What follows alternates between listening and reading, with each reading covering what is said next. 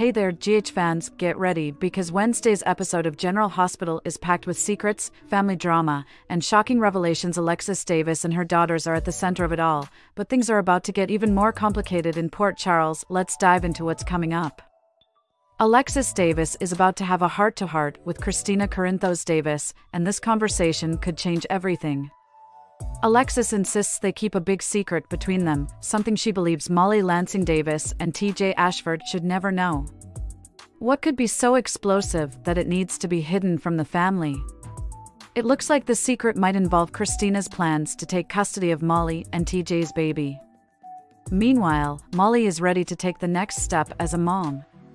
She's decided it's time to give their little girl a name, but here's the kicker she and TJ plan to do it without any input from Kristina. This decision is bound to stir up serious conflict, leaving Alexis caught in the middle, trying to keep the peace between her daughters. As tensions rise, Molly might end up storming out on Kristina, leaving their relationship more strained than ever. But that's not all. Over at the gallery, Trina Robinson has her own drama to deal with. She's pushing Ava Jerome to stop going along with John Jagger Cates' plans to railroad Kristina. Trina's loyalty to Ava is tested, especially when Josslyn Jack suggests that Ava could end up behind bars. Trina, however, isn't so sure and stands by her friend despite the growing tension.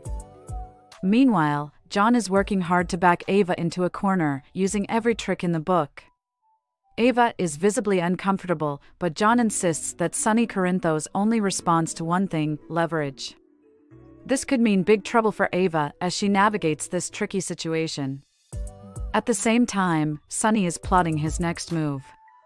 He's got a theory that might lead him to Valentine Cassadine, and he's ready to use Anna Devane as bait to lure him out of hiding. Anna, on the other hand, is ready to confront someone and force them to make a choice.